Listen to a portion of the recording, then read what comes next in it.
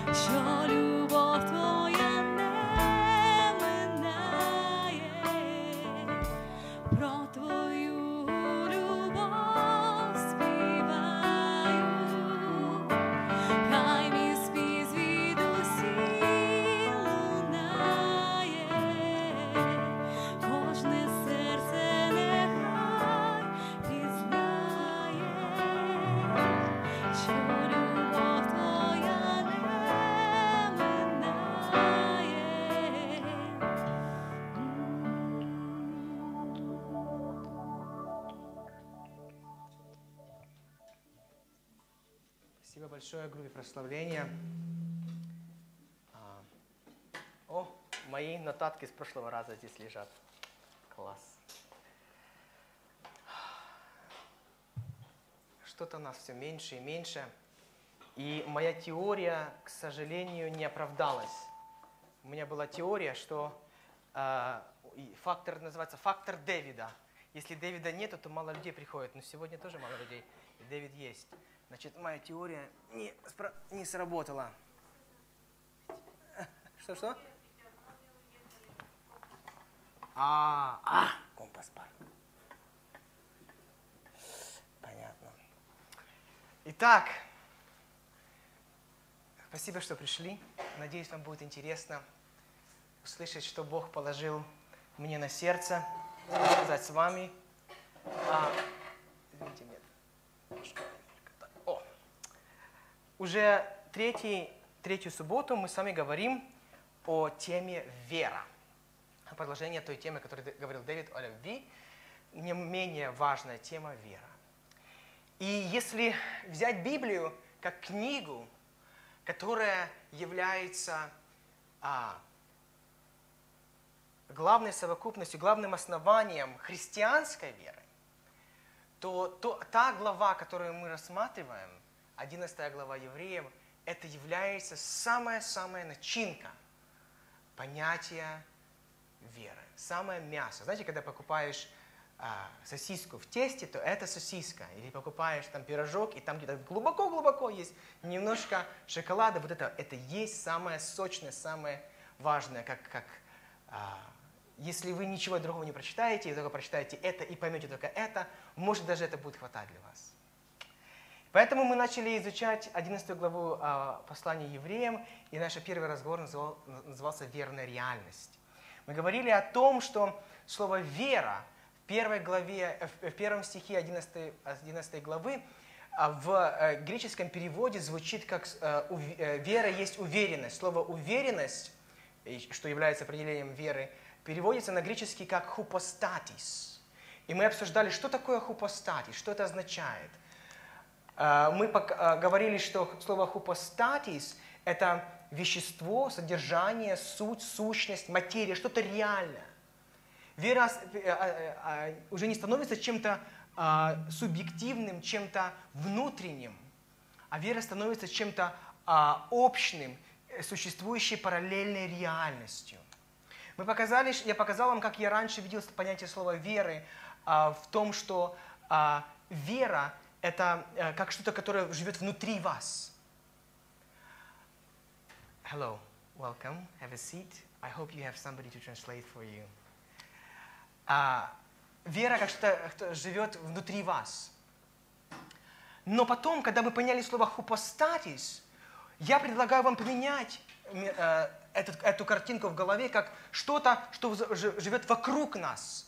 Этот параллельный, невидимый мир, который существует не, вре- э, не во времени, и в котором то, что мы ожидаем, то, чего мы желаем, уже там существует.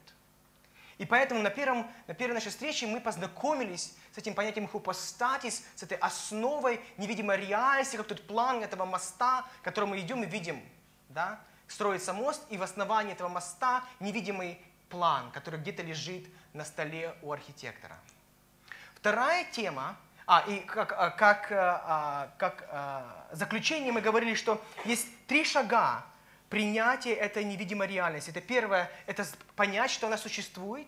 Вторая, это увидеть эту невидимую реальность. И третье, это принести эту невидимую реальность в видимый мир. Вторая тема э, была похожая с первой темой в том, что она очень много затрагивала понятие видимого и понятие того, как наука объясняет сотворение мира, и того, как 11 глава евреям а, а, объясняет сотворение мира, а именно, когда э, из невидимого произошло видимое. И мы говорили, что а, наука имеет два правила. Ну, имеет много правил, но два таких основоположных правила. Первое правило это те древние, как их называют, которые жили по вере. Первое правило это что все произошло из ничего. Наука не может э, объяснить, из чего произошло все, что мы имеем, вся материя, поэтому но, э, ученые пришли к выводу, что давайте согласимся о в том, что материя, самое основное, все произошло из ничего. И в это ничего потом породило все. Но есть другое правило, которое совершенно а, э, противоположное этому правилу, говорит, что э, ничто всегда порожда- порождает ничто. И что а, а, что-то является всегда производным продуктом чего-то. Все, что мы не видим, это просто трансформируемая материя. И поэтому эти два правила, они, а, они а, борются друг с другом. Одно говорит, что ничто никогда не порождает ничто, э, а другое правило говорит, что ничто породило все. И мы это объяснили с- благодаря Библии, благодаря Богу о том, что ничто, это не совсем ничто, это все, оно просто невидимое. Но то, что оно невидимое, не означает, что оно не- нереальное. А, и поэтому это невидимый, невидимый мир, хупостатис, который был в начале голове, головы Бога, это идея мира, идея Вселенной, идея человека, она была сначала э, в в голове Бога, а потом материализировалась в этом физическом мире. И поэтому это ничто, это невидимое поразило видимое. Сегодняшняя тема называется «Любит ли Бог сало?». И как всегда я пытаюсь как-то назвать эту тему, чтобы сначала было непонятно, но может быть потом станет понятно. А, одна заметка. После, вчер- после прошлого разговора ко мне подошел человек и сказал, что он со мной в чем-то не согласен, в чем я, я говорю. И для меня это было настолько приятно услышать, настолько мне это польстило, потому что знаете, что это мне показывает? Это показывает, что человек реально слушал меня. Что человек реально понял, что я сказал. И у него просто другое мнение. И это классно, что у э, вас есть свое мнение. И как я уверен, что а, никогда не принимайте какие-то, э, то, что вам говорят, просто вам, потому что вам так сказали. Всегда пропускайте это через свою голову, через свое сердце, через свой дух, и пусть у вас формируется свое мнение. И поэтому, как маленькая заметка, это натолкнуло меня показать вам одну интересную диаграмму, которая, мне кажется, является а, основанием всего, что мы верим. В основании всего, что мы верим, является Иисус Христос. Эта вера называется христианская вера от слова Христос. Поэтому все, что не есть Христос, все, что не говорил Христос, все, что не показывал Христос, все, что не учил Христос, это есть самое-самое-самое корневое. В буддизме самое корневое – это слова, поступки и жизнь Будды. В христианстве – это жизнь Христа. Поэтому, если вы не знаете чего-то, спрашивайте это известное, э, известное выражение. Что бы сделал Иисус? И много, много вещей, которые, э, э, много вопросов, которые мы задаем, мы можем найти в жизни Иисуса Христа. Для этого мы читаем Евангелие. Но не все, что делал Иисус, не- э, но Иисус не ответил на все вопросы, да? Иисус не знал, в то время не говорил, а что такое интернет, да, мобильные телефоны, да? Значит, поэтому, что бы делал Иисус насчет интернета? Кто знает? Поэтому второй круг, который немножко не такой важный, но все равно важный, это догма. Христианская догма. Это набор верований, набор конкретных принципов, которые определяют христианство от других религий. От других больших религий, как э, буддизм или хиндуизм. И нет лучшего, э, нет лучшего примера э, вот этой догмы, чем когда я помню на крещении Марины э, мы читали, ам, помните, мы читали э, эм, creed, да, клятва э, апостолов. Если я сейчас найду, если я найду, если я найду, нет, не найду. И там этой клятве, в этом маленьком э, содержании, а, были расписаны главные а, догматические а, основания христианства, что Бог яв- является триединым, что э, Иисус Христос родился от Девы Марии, что Он умер от рук Пилата, что на третий день Он воскрес. Это такие самые основные, основоположные христианские доктри, э, э, догмы, которые, скорее всего, поделяют все христианские деноминации. И они могут объединиться вокруг А. Христа и Б. Догмы. Разделение деноминаций происходит на уровне доктрины. Это менее важные а, постулаты, которые не совсем находят свое отображение в Библии, но а, вокруг которых определенные церкви построили традиции. А, Традиция икон, традиция крещ- крещения, традиция, а, а, я не знаю, а, хлебопреломления один раз в году, один раз в месяц, каждую неделю, каждый день. Например, в прошлый раз я говорил о доктринальном а, положении того, что некоторые верят, что мир, миру всего лишь 6 тысяч лет. А некоторые ве- верят, что миру где-то 6 миллиардов лет. И он формировался миллионами или ми- миллионами лет.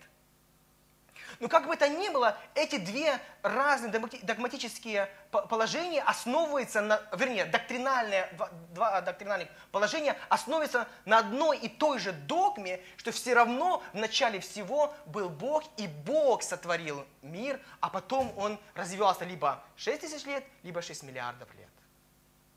И последний круг, который э, дальше всего от центра, это мнение. Это то, что я как больше всего говорю к вам, это мое мнение. Это то, как я интерпретирую то, что я вижу. То, как я думаю, надо понимать. То, что как я а, понимаю оригинальный текст а, греческого или иврита, или контекст Библии, или контекст того времени, или тех персонажей, которые используются а, в, в той или иной истории. Это мнение, и поэтому у может быть свое мнение. И я призываю вас формировать свое мнение. Сегодняшняя э, история, э, она называется «Почему Бог, э, любит ли Бог сало?». Мы продолжаем читать Евреям, очень медленно продвигаемся по 11 главе, как, как, как его, гусеница, очень медленно про- продвигаемся, и читаем теперь четвертый стих.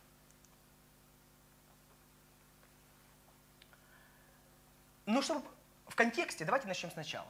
Вера есть залог наших надежд. Классно здесь написано залог наших. Тоже что-то конкретное. Вера есть залог наших надежд и проявление вещей еще невидимых. Благодаря вере древние заслужили от Бога похвалу. Благодаря вере мы понимаем, что Вселенная создана Словом Бога, так что видимое произошло из невидимого. Благодаря вере Авель принес Богу лучшую жертву, чем Каин.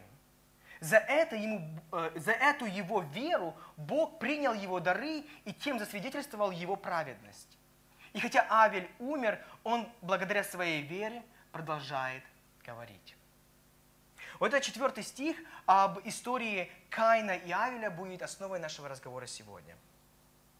Давайте помолимся. Господь Иисус, я благодарю Тебя за это время.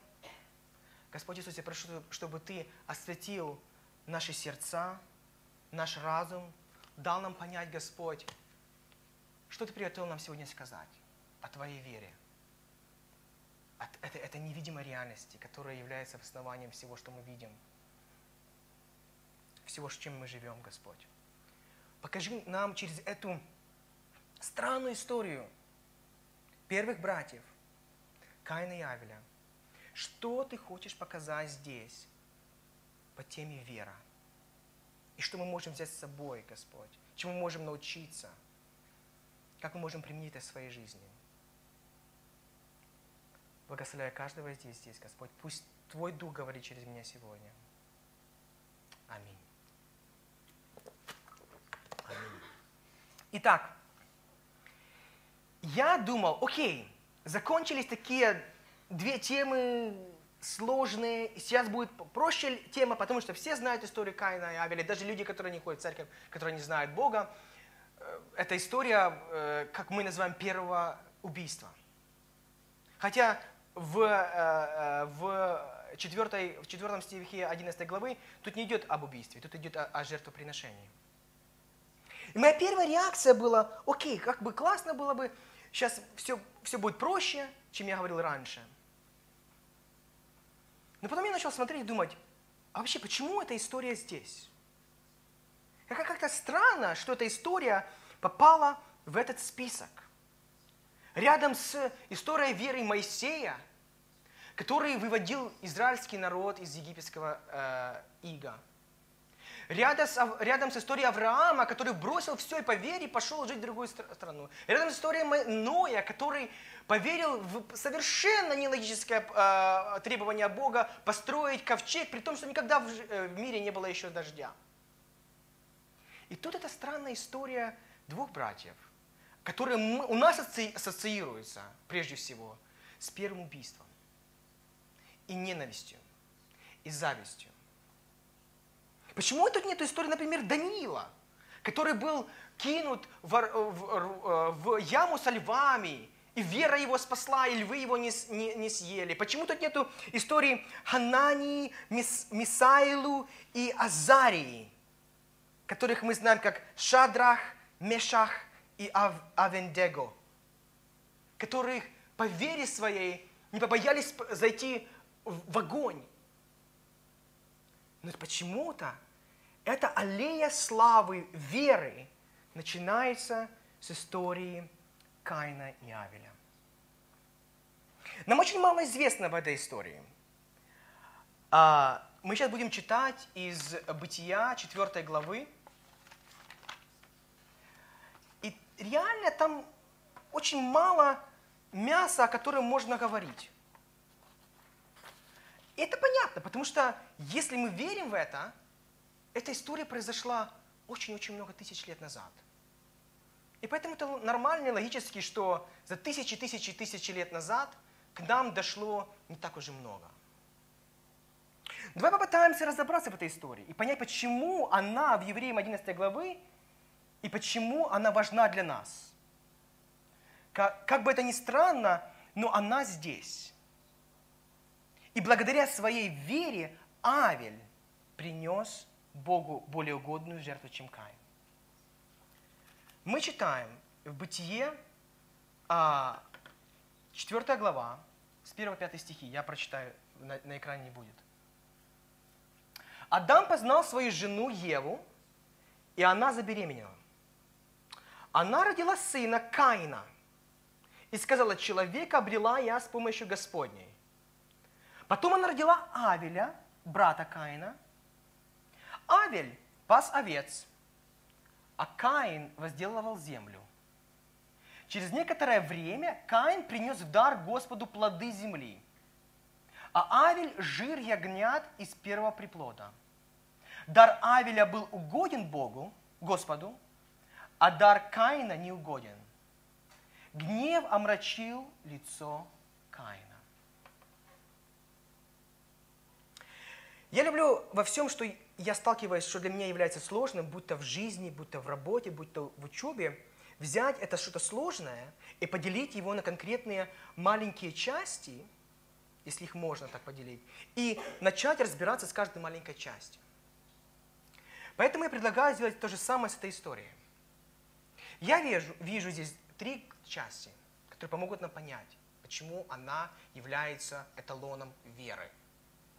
Первое – это элемент главных героев. Мы пос- посмотрим, кто главный герой в этой истории. Второе – это главное действие, которое они произвели. И третье – это главный вывод. Герои а, нашего, нашей истории – это два брата, которых зовут Каин и Авель. Если вы будете изучать э, эти слова, Каин и Авель, вы узнаете, что это не просто имена, как мы даем имена сейчас детям. Как это принято в Библии, это принято было в еврейском народе, но, конечно же, Каин и Авель не были евреями, они были первыми людьми, но историю о них написали евреи, мы думаем, что написал Моисей, э, Пятикнижье Торы. Для еврейского народа и во всей Библии видно, насколько важно является значение имени. И практически каждое имя имело значение. Что означает Кавель, э, Каин и что означает Авель? Каин означает имущество, наследие. Авель означает тщеславие. Я не знал, что такое слово тщеславие, поэтому посмотрел э, в словарик. Тщеславие – это стремление к чему-то, а, к похва- к похвалам, к признанию мнимых своих заслуг, достоинств, в том числе совершение добра ради похвалы.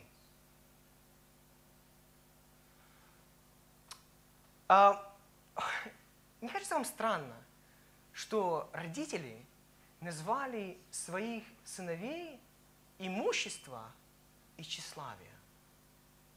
И вообще имеет значение то, какое у тебя имя. Влияет ли твое имя на твою жизнь?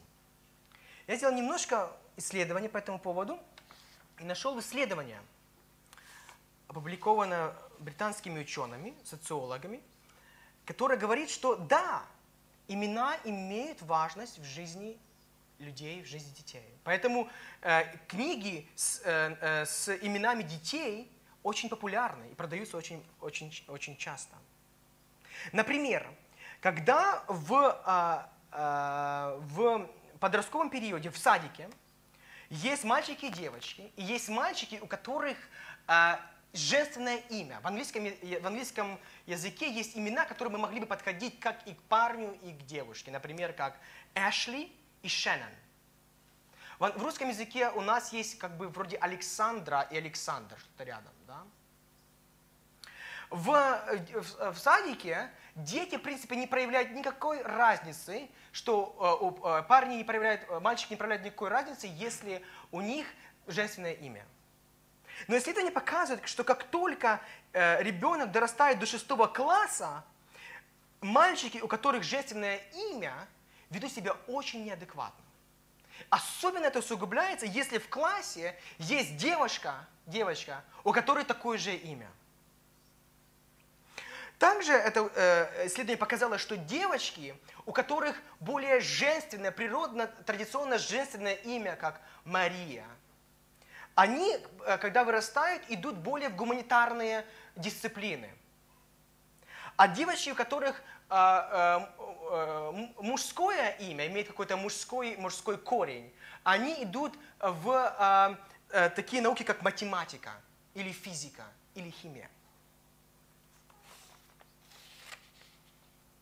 Но в конечном итоге наши имена дают нам наши родители.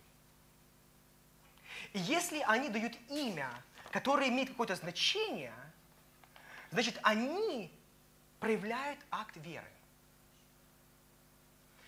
Еще когда ребенок является со- совершенно младенцем, да, обычно имена дают либо до рождения, либо в первые дни жизни.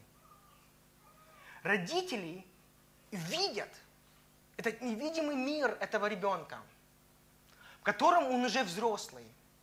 И у них есть надежда на то, что этот ребенок чего-то достигнет, кем-то будет, что-то сделает. И поэтому они хотят показать этим именем свою надежду и свою веру в этого ребенка. Очень часто, когда родители называют детей уникальным именем, уникальное имя в английском языке – это имя, которое, в принципе, является традиционным, но которое пр- написано, прописание, которое э, э, не, не традиционное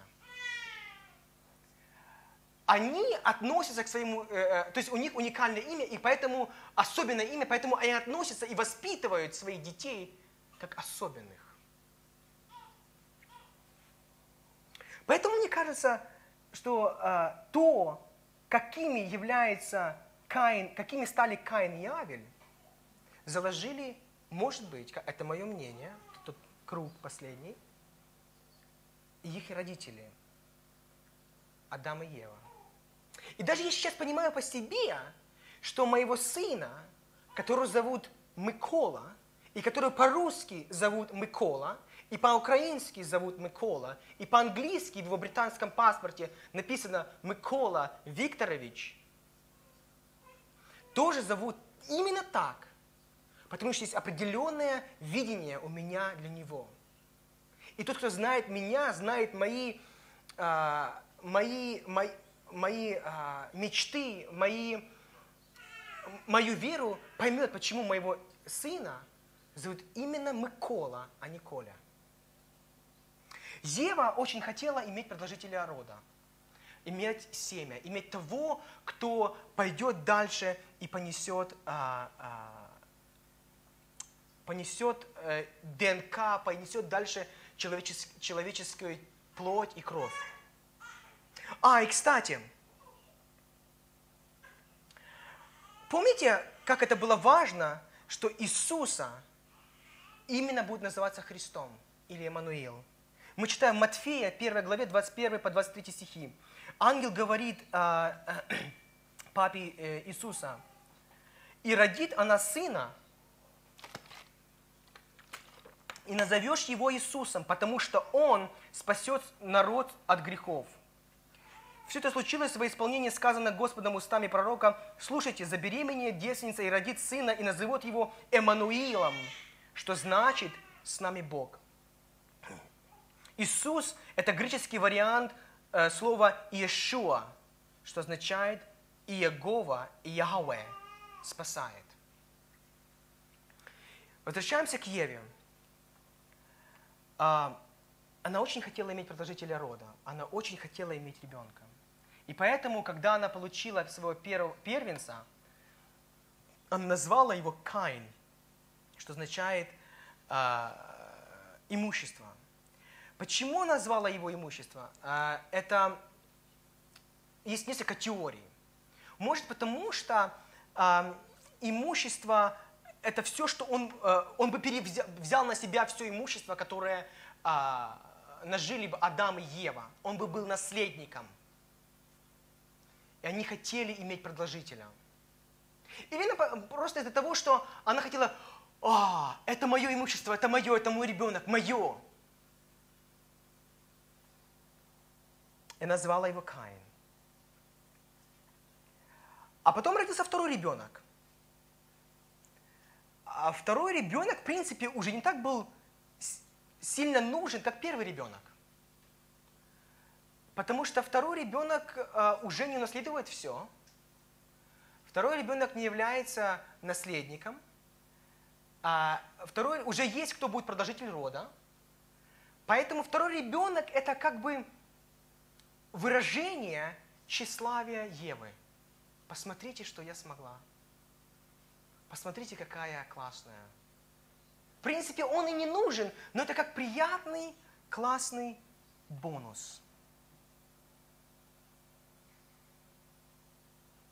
И то, те имена, то видение, которое было у родителей, у Адама и Евы, их детей Каина и Авеля, потом проявилось в их жизни, в их поступках, которые мы будем смотреть дальше. Что мы дальше знаем об этой истории? Каин, он был фермером. Написано, что Каин возделывал землю. И у меня не возникает никаких сомнений, почему именно Каин стал фермером. Потому что на плечах Каина лежало очень сильное бремя, очень сильная а, responsibility, очень сильная, ответ, очень сильная ответственность. Он первенец, он продолжитель рода, он тот, кто возьмет и понесет этот род дальше.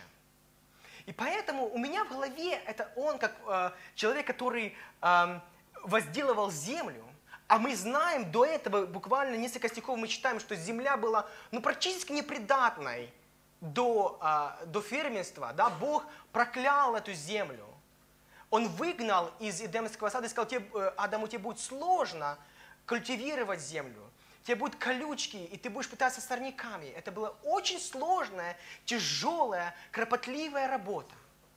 И поэтому в моем, моем представлении, когда я закрываю глаза и думаю о Кальне, у меня вот, вот эта картина такого сильного а, а, фермера, который очень рано встает, очень поздно ложится, у которого на каждом пальце мозоли, который пахает, пахает, пахает, который знает, что у него есть обязанность, что он должен приносить в дом еду, что он продолжитель рода, что он должен делать, чтобы произвести результат. Он надежда своих родителей, он возьмет имущество. И он пахает, пахает, пахает. Он этот фермер. И он грязный, может быть, и, и э, земля у него может под ногтями, и он все вкладывает в эту работу, чтобы получить результат, какую-то пищу. А потом я думаю об, об, об Авеле, другом э, э, брате, от которого родители много не ожидали. Он был приятным бонусом, как я считаю, мое мнение, от, от- интерпретируя его имя. Он был выражением тщеславия Евы. И он был пастухом. И я не знаю, а, видели вы когда-нибудь пастухов? Меня, к, меня, к счастью, была, был один опыт в жизни, когда-то, когда мне было 9 или 8 лет, когда я пас коров в селе. И, если честно сказать, это не такая же сложная работа, быть пастухом. Потому что реально все, что тебе надо делать, поэтому эту работу отдают детям. Это не физическая работа, это не трудоемкая работа. Это работа, когда у тебя есть много свободного времени, много времени сидеть, мечтать, думать, размышлять. И наблюдать над тем, как творение Господне делает все само. И ты просто наблюдаешь за, том, за тем, как а, там овцы сами кушают, да? Не надо кормить. Ты только их привел, куда надо кушать, они сами кушают. Они сами размножаются. Не надо как, как фермеру брать и собирать семя, э, где-то его хранить, потом его вы- выкапывать на следующий день, э, на следующий э, год опять землю, садить его, поливать, полоть, убирать сорняков. И потом в конце ты видишь результат. Классно. А тут ты просто сидишь и смотришь, и наблюдаешь, и радуешься, что результат сам происходит, сам по себе. И поэтому у меня э, в голове представление Авеля это такого вот пастуха, а, который, знаете, замечтался, он сидит э, за, э, под деревом, он, может быть, задремал, он, он думает, он, он, он смотрит, на- на- наблюдает за природой, вот. И, и не- и у него нет таких мозолей, скажем, как у, у, а, у Авеля. Понятно, что есть очень много а, проповедей, когда а, пастух показывается как это личная, э, э, как сильная особь, которая идет, защищает, защищает овец от волков, и потом берет овцы, несет на себе, на, на плечах. Есть такое, да? Есть такое. Но в основном работа пастуха – это сидеть и смотреть. Вы знаете, имена, то видение, которое вложили э, э, родители в своих детей, и, может быть, то, каким они стали по сравнению с, те- с тем, какое у них имя было. Мы только что смотрели, ис- исследования показывают, что очень часто имя может влиять на профессию, которую ты берешь. И также профессия, она формирует наше мировоззрение. Она формирует наше поведение. Профессия формирует глубину нашей веры и хупостатис. Я думаю, никто из нас не будет сомневаться, если мы здесь поставим четыре, четырех людей, четырех разных профессий. И они будут иметь разный подход к разным вопросам. Например, если мы здесь поставим украинского милиционера э, Державной патрульной службы, учителя математики, народного депутата и продавца на рынке. Четыре человека, у которых так же самое четыре головы, восемь рук, восемь ног, но у которых разные профессии. И Если мы зададим им один и тот же вопрос, я думаю, у них будет отвечаться либо мировоззрение, либо взгляд, либо позиция на этот вопрос. Итак, мы познакомились с нашими героями. Необычные герои э, это Каин и Авель с необычными именами и с необычными и с определенными профессиями, которые влияют на их мировоззрение, на их действия. Потом второй пункт – это само действие. Какое произошло действие?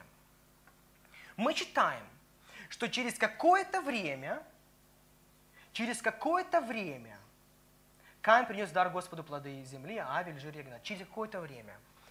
Через какое-то время это слово, оно также означает в, в, э, э, в оригинальном переводе, что это был конец какого-то времени. Это мог быть конец недели, э, последний день, когда Бог сказал, что это будет день свят- святой день, да, который надо посвятить Богу. Либо конец года, конец урожайного года. Это было какое-то конкретное время. Это не просто было, знаете, так раз и захотели. Это было какое-то специальное конкретное время, которое Каин и Авель знали. Это специальное время отведено для а, приношения жертвы, для поклонения Богу. Странно, почему Бог заповедал Адаму, который передал потом своим, э, своим де- детям Авелю и а, Каину, приносить жертвы.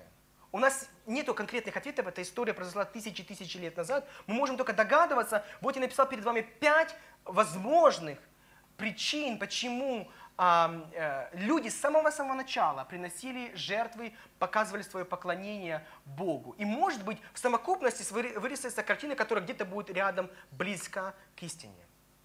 Они приносили жертву как ка- акт поклонения, общения с Богом, так как они уже не были в Эдемском э, саду. Это был акт благодарения Бога за его дары, за, за дары э, э, плода, э, за дары э, приплода. Это был акт э, покаяния и напоминания о том грехе, который передался им от их родителей. Это был показательный акт того, что грех всегда приносит последствия. Что когда уб- убивался этот ягненок, проливалась кровь. Может быть, Бог хотел тем самым всегда, используя какой-то физический акт, показывать, что грех всегда будет иметь последствия. И или, может быть, Бог с самого-самого начала начал показывать самый-самый конец, который по всей эм, истории Ветхого Завета э, показывается о том, что э, последней жертвой и пролитием крови будет Иисус Христос. Как написано э, в Колоссянам э, 2 глава 17 стихом, что все это было как тенью. Это все было как тень того, что сделал Иисус на Христе. Но это не важно, э, э, что было мотиватором э, приношения жертвы. Важно, что это они, они это делали. Они знали, что это угодно Богу, что приносить жертву, и что жертва Авеля, мы читаем в 11 главе, была более угодна, чем жертва Каина. И когда первый раз я читал эту историю, у меня сразу сложилось впечатление, что просто Авель, что просто Каин ошибся. Он должен был просто взять и пойти взять тоже ягненка, принести ягненка. Он просто не, не то взял. Просто махи- машинальная ошибка. Или он думал, что это как-то сойдет ему с рук. А Бог именно, именно только хотел, чтобы была пролита кровь, именно хотел, чтобы был только зарезан ягненок. Тол- Только именно ягненок был важностью э, и э, тем главным, почему он принял жертву Авеля, не Каина. Но в 11 главе Евреям и 4 стихе мы пишем, что не ягненок был важным, а вера Авеля была важной. А, я думаю, есть, есть три причины, а, почему, а, почему что принесли Каин и Авель, не имеет никакого значения. Первая причина, я считаю, Бог никогда бы не поставил Каина в такое неравное положение с Авелем. Потому что Каин был фермером. Для него было логично принести дары того, что, что он работает. Да? Это было бы нелогично от а, учителя математики принести в дар какой-то танец. Поэтому я не верю, что Бог самоначально поставил Авеля, Авеля уже в низшее положение, с, а, а, поставил Каина в низшее положение с Авелем. Мне кажется, они были на равных с ним. Во-вторых, во-вторых, как мы читаем, и, к сожалению, только нашел на английском, как раз нашим гостям будет удобно, если мы будем читать в, а, Ветхом Завете, Бог не имел ничего против жертвоприношения а, Каина. Есть э, в Ветхом Завете пять видов жертвоприношения. Жертва всесожжения, мирная жертва, причастная жертва, э, э, хлебное или зерновое приношение, жертва за грех и жертва за грех. А, э, мирная или причастная жертва, она, она состоит из, когда люди приносят либо хлеб, либо муку, либо а, оливковое масло. Это не является ягненком или пролитием крови. Или, если мы смотрим грех, э, жертва за грех, это четвертое, там пять подпунктов. Э, Бог сделал так удобно для людей, которые не могут себе позволить. Э, первый пункт э, это убить э, быка, или второй пункт убить козла, или третьего э, э, пункт убить, э, принести в жертву козу, или четвертый э, пункт э, принести в жертву голубя, они могут, как пятый пункт, если ты очень бедный еврей, ты можешь принести какую-то меру муки. это тоже было угодно для Бога. Поэтому я, мне кажется, что Богу не так было важно, что конкретно приносили Каин и Авель. И третье, самое важное. Если будете читать Библию в общем и Ветхий Завет в общем, и вы узнаете, что Богу вообще понятие жертвы, конкретные ритуала сожжения не так было важно. В 50-м с- псалме а, а, Бог говорит через Давида, жертва тебе не угодна, я дал бы тебе все сожжения, ты не жалеешь. Жертва Богу, дух сокрушенный, сокрушенное скорбящее сердце. Боже, ты не пренебрежешь. Бог говорит, мне не важно, что конкретно вы приносите. Мне не важны ваши ритуалы, как вы поставили галочку, отдали жертву, и все, вы думаете, ваш грех про- будет прощен. Мне важно, потому что это только какой-то символ чего-то. А символ чего? Символ вашей веры, символ вашего, э, вашего сердца, вашего по-настоящему сокрушенного, се- скорбящего сердца, что вы по-настоящему переживаете за свой грех. Вот что Богу важно. Благодаря своей вере Авель принес Богу более угодную жертву, чем Каин. Благодаря своей вере он был превознесен как праведник, так, так как Бог с одобрением принял дары его. И благодаря своей вере он все еще говорит, хотя и мертв. Каин, Каин пришел к... И вот мы приходим к третьему пункту. Мы говорили о героях, мы говорили о действии, мы сейчас говорим о выводе. Каин подошел к процессу а, жертвоприношения так, как он подходил э, ко всей своей жизни, к своей работе, к своему признанию. Если я буду работать, если я буду производить результат, это вернется ко мне так же само. Когда-то, э, в прошлом сезоне я говорил о понятии quid pro quo. Что-то за что-то. Это то, что пронзило весь наш мир. Каин э, думал, что если я принесу Богу нужную, заслуженную жертву, тогда Бог, Богу это будет угодно. Каин подошел к, э, отношениям с Богом так, как он подходил ко всему своей жизни. Пахать, пахать, пахать, пахать, работать и потом заслужить. Каин был самодостаточен. Но Авель нуждался в Боге. И понимая, что он ничего не мог бы сделать, и- что бы он ни сделал, это было бы недостаточно для Бога. Каин принес жертву плода своих рук, а Авель принес жертву плода Божьих рук.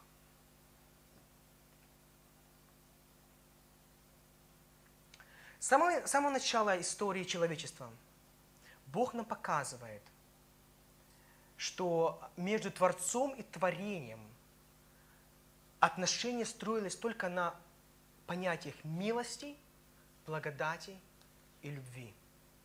И не на- чем-то, что можно заслужить. Каин думал, что все, что ему надо, чтобы заслужить похвалу Бога, это принести адекватный эквивалент в жертве. Поэтому он усердно работал и принес лучшее, чтобы он мог принести. Авель через свою веру, как мы читаем в 11 главе Евреям, видел Бога, понимал, насколько великий Бог, насколько недостойный Авель является греховный человек по отношению с Богом. И какой бы жертву он бы ни принес, она не была бы адекватной или подходящей для Бога. И поэтому вера в милость, благодать и любовь Бога сделала э, жертву Авеля угодной, благоугодной. Та вера хупостатис, вера, что есть этот невидимый мир, в котором все, что мы желаем, все доброе, что мы желаем, уже существует. Теперь посмотри на эту прогрессию. Первую субботу, когда мы начали говорить с тобой, мы узнали, что такое вера хупостатис, что это невидимая реальность, которая объективно существует. Во вторую субботу мы узнали, что эта невидимая реальность, которая существует, существует, существует в разуме Бога, была в основе всего видимого физического мира. И сегодня, в третью субботу, мы узнали, что наша вера хупостатис – это невидимый мир, который помогает нам правильно понимать и видеть Бога таким, каким Он хочет, чтобы мы Его видели. Каин видел Бога как Господина, которому надо угодить и которому надо заслужить, принеся правильную жертву. Авель видел Бога как милостивого, милостивого Господа, который перекроет все-все промахи, которые могли были быть с любой бы жертвой, какой бы Авель не принес.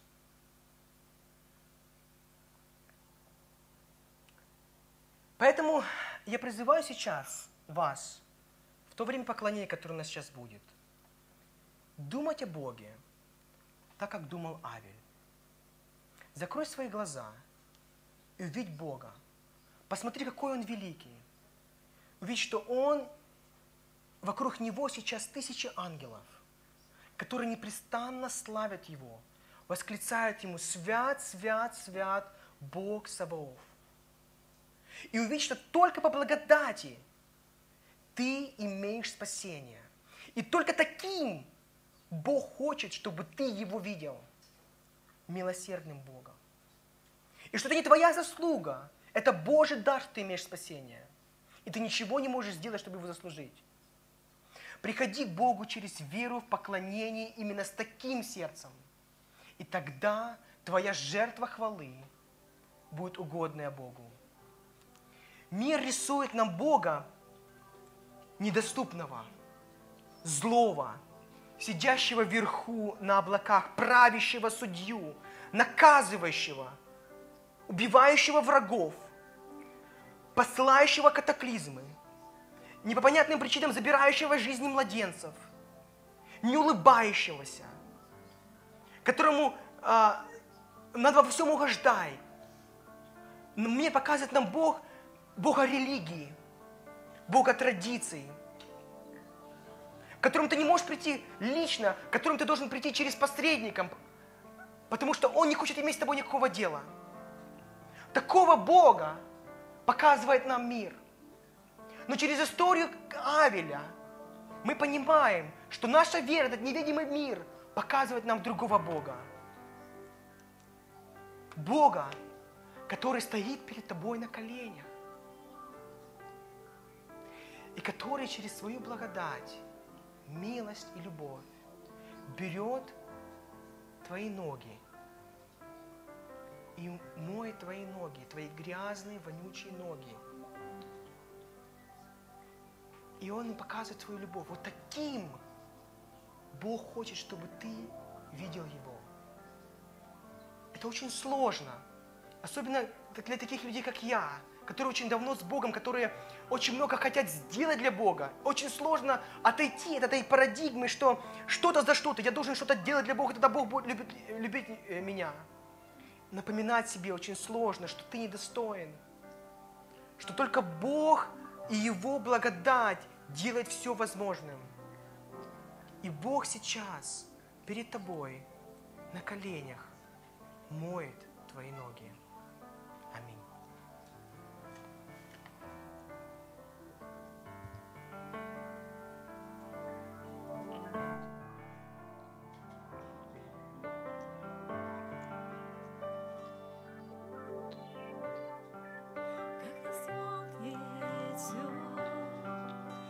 В